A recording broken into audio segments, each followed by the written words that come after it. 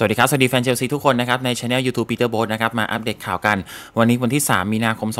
2566 นะครับ แฟนเชลซีก็ลุ้นกันนะครับลุยส์เอนริเก้มีรายงานจากสื่อ tier หนึ่งบอกว่า โอ้โห ฟิตจัดจากเริ่มงานคุมทีมทันทีเลยนะครับ รวมไปถึงแผนอัปเดตสนามใหม่ของเชลซีด้วยครับ มีแนวโน้มว่าจะต้องทุบแล้วก็สร้างสแตมฟอร์ดบริดจ์ขึ้นมาใหม่ รอฟังรายละเอียดแบบจัดเต็มกันได้ แต่ว่าก่อนอื่นขอบคุณผู้สนับสนุนใจดีของผมก่อนละกันครับเริ่มจากนี่เลยบ้านชีสเค้กเขาใหญ่รีสอร์ทนะครับที่พักสไตล์มินิมอลมีดาดฟ้าให้นั่งชิลๆสั่งหมูกระทะมาทานได้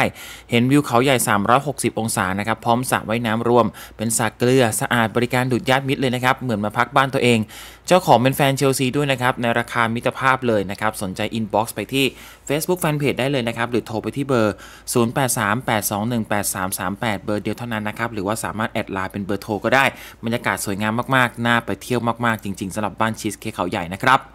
แล้วก็ใครก็ตามที่กำลังมองหาน้ำหอมแบ่งขายของแท้ต้องไปซื้อที่ร้านนี้เท่านั้นเลยนะครับ โคดคูเพอร์ฟูมนะครับ ใน Shopee ก็มี Lazada ก็มี เหมาะสำหรับคนที่ไม่อยากซื้อขวดเต็ม อยากมีหลายกลิ่นให้ใช้น้ำหอมไปทำงาน ไปเจอสาวออกกำลังกายมีครบ แล้วก็วันนี้ครับ 3 เดือน 3 นะครับ มีโปรโมชั่นพิเศษมี Flash Sale โปรโมชั่นมาฝากกันด้วยนะครับ ก็ลดราคาน้ำหอม 10%ทั้งหมด 23 กลิ่น มี 3 ช่วงเวลานะ เที่ยงคืนถึงตี2 9โมงถึงเที่ยง แล้วก็เที่ยงถึงบ่าย2ใครไม่อยากพลาดกลิ่นที่ชอบก็กดแจ้งเตือนกลิ่นนั้นไว้ได้เลย แล้วก็เหมือนเดิมนะครับ ในช่อง Peter b o เนี่ยมีโค้ดส่วนลดของ s h อ p e e ด้วยนะครับ สั่งครบ 1,000 บาทลด 100 บาทด้วยห้ามพลาดเด็ดขาดเลยนะครับ แล้วก็ใครก็ตามที่เจ็บคอไอมีเสมหะนะครับ ไปจัดยาแก้ไอตาขันตีกันได้เลยนะครับ ใครท้องอืดท้องเฟ้อ มีลมในกระเพาะต้องยาท่าจอมทองเลยนะครับ เป็นสมุนไพรธรรมชาติเลย อยู่กับช่องพีเตอร์โบมายาวนานกว่า 4 ปีแล้วนะครับ ทักไปสั่งซื้อบอกมาจากช่องผม ถ้าเกิดสั่งครบพันห้าลด 100 บาท แล้วก็ส่งฟรีทั่วประเทศด้วยนะครับ ฝากไปอุดหนุนสปอนเซอร์ทุกเจ้าเลยนะครับโอเค มาเริ่มข่าวสารกันนะครับ ก็จะเริ่มกันที่เรื่อง สนามใหม่นะครับ เป็นข้อมูลจากสื่อ tier หนึ่งครับ แมตต์ลอของเทเลกราฟแมตต์ลอบอกว่ามีความเป็นไปได้สูงมากเลยครับ ที่เชลซีจะเลือกวิธีทุบสแตมฟอร์ดบริดจ์ปัจจุบัน แล้วก็สร้าง new สแตมฟอร์ดบริดจ์ขึ้นบนพื้นที่เดิมนะครับ ซึ่งตอนนี้เชลซีมีแผนที่จะซื้อที่ดินจำนวน 1.2 เอเคอร์นะครับ ก็ตรงนี้เลยนะครับเห็นไหมครับ สีขาวคือ Stamford Bridge ปัจจุบัน แล้วก็สีเหลืองก็คือที่ดินที่จะซื้อเพิ่มนะครับ ย่านนั้นชื่อว่า Sir Oswald Stoll Mansion นะครับ ก็ซื้อเพื่ออะไรเพื่อให้ ตัวสนามใหม่เนี่ยมีพื้นที่ใช้สอยเพิ่มเติม สามารถทำสวนสาธารณะของแฟนบอลได้นะครับ มีสำนักงานออฟฟิศเพิ่มเติม แล้วก็มีสิ่งอำนวยความสะดวกต่างๆ ในย่านที่ซื้อเข้ามา มูลค่าที่ซื้อตรงนั้นก็ประมาณ 50 ล้านปอนด์ถ้าใครไม่เข้าใจว่า ซื้อทำไมก็ต้องบอกแบบนี้ครับว่าที่ซื้อเนี่ยไม่ได้ซื้อและขนาดขนาดของสนามมันจะขยายไปถึงตรงนั้นนะครับ มันทำค่อนข้างยากนะครับ แต่ถามว่ามีส่วนหนึ่งที่เป็นส่วนของสนามไม่มี เพียงแต่สิ่งที่ต้องซื้อเพิ่มจริง ๆ คืออะไรก็คือ ทุกวันนี้ไม่ว่าจะเป็นสำนักงานช็อปของสโมสร ร้านอาหารภัตตาคารอะไรก็ตามเนี่ยมันอยู่ติดกับตัว Stamford Bridge หมดเลย อยู่ข้างใน Stamford Bridge หมดเลย เพราะฉะนั้น ถ้าซื้อที่ดินเพิ่มมาเนี่ยไอ้พวกของพวกเนี้ยช็อปสโมสร พิพิธภัณฑ์สโมสร หรือว่าร้านอาหารอะไรก็ตามเนี่ยมันเอาไปอยู่โซนนั้นได้นะครับแล้วก็ให้พื้นที่เก่าเนี่ยเป็นพื้นที่ของความจุคนดูแบบเต็มร้อยเปอร์เซ็นต์ นะครับ อันนี้สำคัญซึ่งจริงๆเนี่ยเชลซีอยากซื้อตรงบริเวณเนี่ย Sir Oswald Stoll Mansion เพราะว่ามันอยู่ใกล้กับทางสถานีรถไฟฟ้าใต้ดินฟูลแลมบรอดเวย์ด้วยนะครับเชลซีวางแผนก็คือใครก็ตามที่เดินทางมาด้วยรถไฟฟ้าใต้ดินคุณลงสถานีฟูลแลมบรอดเวย์ปุ๊บคุณเดินผ่านแป๊บเดียวถึงโอ้โห ย่านเชลซีเลยนะครับ ไม่ต้องผ่านตะลงตลาดอะไร คุณเจอย่านเชลซีมีช็อปเชลซีแล้วก็เป็นทางผ่านเพื่อเดินเข้าสู่สแตมฟอร์ดบริดจ์ได้เลย ต้องการความทันสมัยอะพูดง่าย ๆ นะครับแล้วก็สำหรับสนามใหม่ของเชลซีเนี่ย คาดว่าจะมีความจุขั้นต่ำขั้นต่ำนะครับ 55,000 คน ซึ่งถ้าถามผมน้อยกว่าที่คิดไว้ตอนแรกนิดนึง นะครับ คือปัจจุบันเนี่ยสแตมฟอร์ดบริดจุได้ประมาณ 41,000 ใช่ไหมครับ ถ้าเป็น 55,000 ก็เพิ่มมา 14,000 ตอนแรกเนี่ยแผนเก่าดั้งเดิมเนี่ยคือเชลซีอยากจะให้ประมาณ 60,000 60,000 คนนะครับ แต่อันนี้ขั้นต่ำ55,000 ซึ่งเราก็ไม่ได้หมายความว่า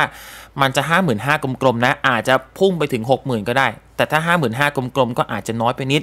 ส่วนคนที่บอกว่า เฮ้ย มันต้อง 70,000 75,000 อันนี้ก็อาจจะเยอะเกินไปนะครับ เพราะว่า สร้างสนามใหม่เนี่ยสร้างสร้างแบบใหญ่ๆเวอร์ๆไม่ใช่เรื่องดีเสมอไปนะครับ มันต้องกะเอาให้คนดูเต็มสนามตลอดด้วย ไม่งั้นสร้างสนามใหญ่มากลงทุนไปมหาศาล แต่ถ้าเกิดคนเข้าดูไม่เต็มเนี่ย มันก็รายได้มันก็ขาดทุนสำหรับผม 60,000เนี่ยกำลังสวยเพิ่มจากเดิมเกือบเกือบสองหมื่นเนี่ยกำลังสวยเลยนะครับ ซึ่งสาเหตุที่เชลซีเลือกวิธีนี้มากที่สุดก็คือทุบแล้วสร้างใหม่เนี่ยเพราะว่าอะไรรู้ไหมครับ เพราะว่าท็อดด์ โบห์ลี่กับเบห์ดัด เอ็กบาลีครับ feel แบบทำทั้งทีไม่อยากแค่แบบดีขึ้นเล็กน้อย renovate คือตอนแรกแผนการ renovate เนี่ยมาเป็นตัวเลือกอันดับต้น ๆ เลยนะครับ แต่คุยไปคุยมาเนี่ย โอ้โห ไปดูแผนงานที่สนามเอฟเวอร์ตันมาด้วยนะ ย่านเมอร์ซีไซด์นะครับ คุยไปคุยมาคือแบบ ถ้าดีขึ้นเล็กน้อยไม่เอา อยากให้สแตมฟอร์ดบริดจ์เนี่ย เป็นสนามใหญ่แล้วก็ทันสมัยที่สุดในอังกฤษเลยนะครับ คือแบบทำทั้งทีเอาให้ดีไปเลย ดังนั้นการจะไปรีโนเวทเนี่ยมันทำได้แต่ก็คงไม่สุด นะครับ ทุบสร้างใหม่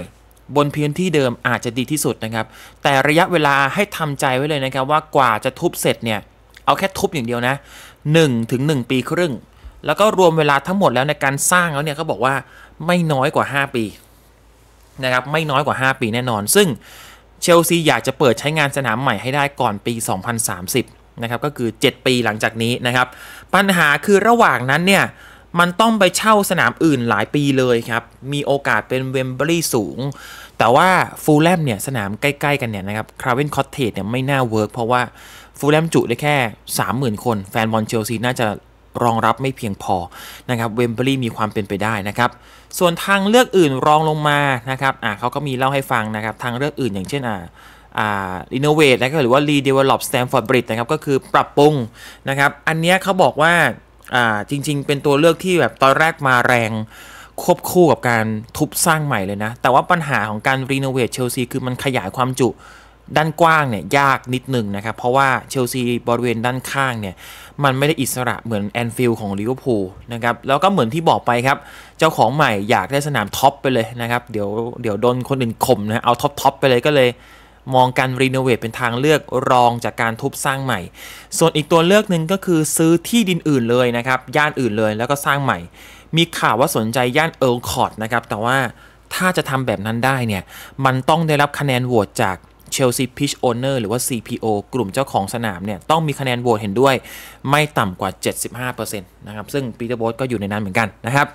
ในส่วนของมูลค่านะครับ ขนาดสนามสเปอร์เนี่ยเขายังสร้างเบ็ดเสร็จบานปลายไป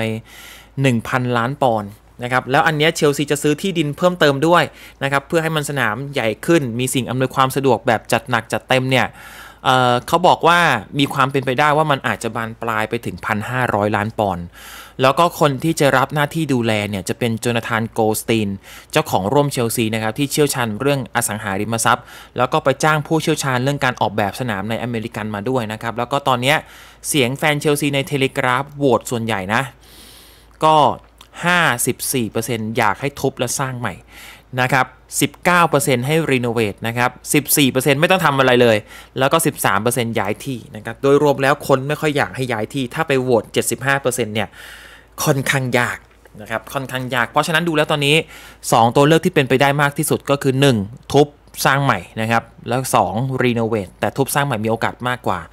สำหรับใครที่สงสัยว่าเอาเงินมาจากไหนนะครับคือก็เหมือนที่บอกไปนะครับตอนเทคโอเวอร์มันมีสัญญาอยู่แล้วครับว่าจะต้องลงทุนนะครับเพื่อให้ทีมเดินหน้าไปข้างหน้านะครับแล้วก็เหมือนกับทางบอร์ดบริหารชุดเก่าเชลซีมีมารีนาพวกนี้เขาก็หาทางรองรับไว้แล้วว่าเจ้าของใหม่จะต้องลงทุนจริง ๆ ส่วนคนที่ถามว่าจะโดนกด Financial Fair Play หรือเปล่า การสร้างสนามไม่รวม Financial Fair Play นะครับเพราะฉะนั้น ต่อให้คุณสร้างสนามใหม่ 1,000 ถึง 1,500 ล้านปอนด์มันก็จะไม่ได้เอาไปลงบัญชี ของ Financial Fair Play นะครับอะอันนี้คืออัปเดตให้ล่าสุดนะครับ ส่วนถ้าเกิดว่ามีรายละเอียดจัดเต็มเดี๋ยวผมหาเวลามาสตรีม เรื่องสนามใหม่ผมพูดเลยผมข้อมูลแน่นมากนะครับ เพราะว่าผมไปถามคนมาเยอะมากนะครับ แล้วก็เดี๋ยวผมหาเวลาจะมาเล่าให้ฟังว่าแต่ละโซน มันเป็นยังไงนะครับ ไอโซนที่จะซื้อที่ดินเพิ่ม 50 ล้านปอนด์เนี่ย มันจะวางส่วนไหนบ้าง เดี๋ยววันหลังผมไปทำเป็นกราฟิกมาให้ดูเลยนะครับ ขอขอเตรียมเตรียมข้อมูลเตรียมเวลาก่อนแล้วกันนะครับ อะ จากเรื่องสนามใหม่นะครับ ไปดูกันที่ ข่าวผู้รักษาประตูนะครับ มีรายงานจาก Daily Mail ครับสื่ออังกฤษนะครับ บอกว่าเอดูอาร์เมนดี้เนี่ยเตรียมหายเจ็บกลับมาช่วยเชลซีได้แล้วนะครับ ในอีก 2 สัปดาห์ข้างหน้า ซึ่งจะต้องกลับมาคุยเรื่องอนาคตกันใหม่ด้วยครับ เพราะว่าตอนนี้สัญญายังไม่ได้ต่อ แล้วก็เสียมือหนึ่งให้กับทางเกป้าไปแล้ว ดูเหมือนทางเชลซีเนี่ยจะพอใจผลงานของเกป้าพอสมควรด้วยนะครับทำให้ในช่วงซัมเมอร์เนี้ย น่าจะไม่ซื้อนายด่านค่าตัวแพงนะครับ อาจจะเอาเป็นตัวสำรองมากกว่า จากสถานการณ์ตอนนี้ยังไม่ได้หมายความว่าเมนดี้ย้ายแน่นอนนะครับ เพราะว่ายังไม่ต่อสัญญาใหม่ มันต้องดูหลายมุมครับ เช่น ไอ้มือกาวตัวสำรองที่เอาเข้ามาใหม่เนี่ย อาจจะมาแทนมาคัสเบตติเนลลี่มือ 3 คนปัจจุบันที่กำลังจะหมดสัญญาก็ได้ แต่ก็อย่ามองข้ามโอกาสที่จะมาแทนเมนดี้ตรงๆ หากเลือกย้ายทีม นอกจากนี้เชลซีมีแผนที่จะผลักดันกาเบรียลสโลนีนามือกาวดาวรุ่งชาวอเมริกันที่ซื้อเข้ามาด้วยนะครับ ซึ่งโชว์ฟอร์มได้ดีกับชุดเยาวชนตอนนี้ ผมไปดูคลิปการเล่นชุดเยาวชนมาสโลนีนาเนี่ยจากที่เห็นนะครับเอาจุดที่น่าจะต้องปรับก็คือการตัดบอลกลางอากาศ คือจริง ๆ รูปร่างดีนะครับ สูง 193 ไม่สูงมาก แต่ก็ไม่เตี้ยนะครับ แต่ผมว่าน่าจะเป็นเรื่องความคุ้นชินกับประเทศใหม่ การออกมา catch บอลคว้าบอลกลางอากาศ ยังมีกระฉอกอยู่บ้าง นะครับ แต่ basic การใช้เท้าดี กล้าออกบอลสั้นช่วยเพื่อนแก้ pressing ได้ แล้วก็เรื่องลูก save เวอร์ก็มีให้เห็นเหมือนเดิม มีแบบบินปัดเวอร์ลูกแบบกลางของกลางแขนกลางขาให้ตัวเองดูใหญ่พวกนี้ก็ถือว่ามีแววสูงมากเลยนะครับ ผมว่าซาโลนีนาเชลซีลึกๆเนี่ยก็คงแบบหมดจากเจนของเมนดี้เกป้าไปก็อาจจะผลักดันคนนี้เป็นมือหนึ่งในอนาคตนะ ไม่ใช่ปัจจุบันนะ ในอนาคตใน 3-4 ปีข้างหน้าก็เป็นได้เหมือนกันนะครับ แล้วก็เกี่ยวกับดาวรุ่งเนี่ยยังมีเรื่องอันเดรซานโตสด้วยนะครับ ก็เชลซีแถลงการยืนยันนะครับ ว่าเตรียมปล่อยยืมตัวกลับไปอยู่ต้นสังกัดเก่านะครับ ก็คือวัสโกดากามานะครับ สาเหตุหลักก็คือขอ work permit หรือว่าใบอนุญาตการทำงานไม่ผ่าน เดี๋ยวก็ต้องไปเก็บแต้มเพิ่มเติมหน่อย กลับมาหนหน้าน่าจะผ่านแล้วนะครับ แต่ว่าข้อดีก็คือไปยืมตัวหนนี้ทางฟาบิซิโอโรมาโนบอกว่า ยืมตัวจนจบฤดูกาลของลีกยุโรปเท่านั้นก็คือมิถุนายนก็คือหมดสัญญายืมตัว ซึ่งมันดีอย่างหนึ่งคือ ปีหน้าเชลซีเอากลับมาใช้ได้เลย ต่างกับก่อนหน้านี้พัลเมรัสนะครับอีกทีมจากบราซิลเนี่ยเขาอยากจะยืมจนถึงปิดฤดูกาลลีกบราซิล ก็คือช่วงปลายปี ซึ่งถ้าเกิดเป็นเช่นนั้นเนี่ยมันจะคาบเกี่ยว season หน้าของพรีเมียร์ลีกด้วยเชลซีไม่อยากแบบปล่อยยืมยาวขนาดนั้นนะอยากปล่อยยืมไปเก็บแต้มเพื่อมาขอ work permit แล้วก็ฤดูกาลหน้าเชลซีวางแผน จะใช้งานอันเดรซานโตสเลยนะครับในฤดูกาลหน้า เพราะฉะนั้นข้อเสนอกลับไปเล่นทีมเก่าวัสโกดากามาก็ดูจะโดนใจทางเชลซีมากกว่า ก็ขอให้เก็บเวลเยอะๆนะน้องนะ ดูมีแววดีนะครับ เล่นกับทีมชาติบราซิล U 20 เทพมาก เป็นกองกลางที่ไม่ได้ยืนสูงเลยนะ แต่ว่าได้ดาวซัลโวเออ นะครับ เติมไปยิงจังหวะสำคัญสำคัญลูก set play พวกนี้ถือว่าใช้ได้นะครับ อันเดรซานโตสนะครับ ทีนี้ครับ คนนี้กลับมามีข่าวกับเชลซีใหม่อีกรอบหนึ่งครับ ก็คือยอสโกกวาดิโอนนะฮะ อันนี้เป็นข้อมูลจากทอมรัดดี้นะครับ ทอมรัดดี้นี่รายงานข่าวเชลซีบ่อยมากครับของ The Times จากที่ดูมาก็เชื่อถือได้ประมาณนึงเลยนะ ผมว่า tier สองได้เลยนะครับทอมรัดดี้เขาบอกว่าเชลซี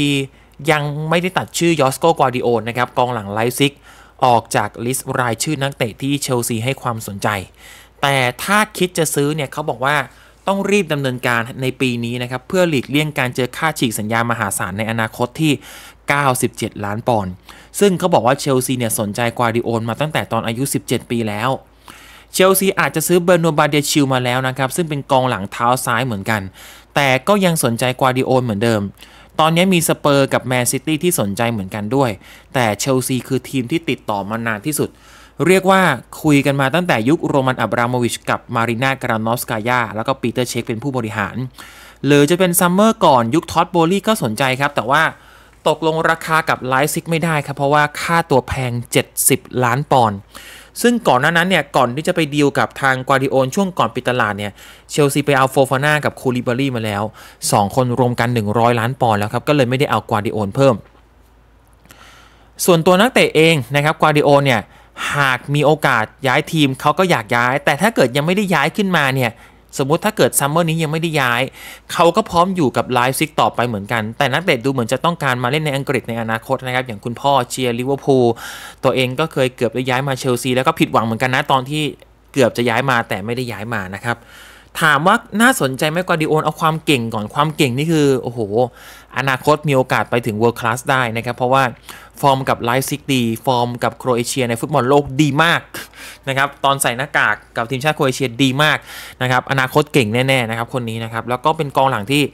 basic การใช้เท้าแน่นมากนะครับ อาจจะตัวไม่ได้สูงมากนะครับ หน่วยการไม่ได้สูงมาก แต่เบสิกการใช้เท้าดี มีลูกตันลูกหนักพวกนี้นะครับ อันนี้คือจุดเด่นของเขา เขาเก่งแหละ ผมว่าน่าสนใจ แต่โดยส่วนตัวผมไม่ได้เชียร์ให้ซื้อนะครับ เพราะว่าอะไร เพราะว่าอ่าหนึ่ง หนึ่งเลยก็คือเชลซีไปซื้อเบอร์โนบาเดชิลมาแล้วนะครับซึ่งเป็นกองหลังถนัดเท้าซ้ายเหมือนกันเป๊ะเลยนะครับสองข่าวจากแมตต์ลอบอกว่าเชลซีจะยื่นสัญญาฉบับใหม่ให้กับเจ้าหนูลีวายโควิลด้วย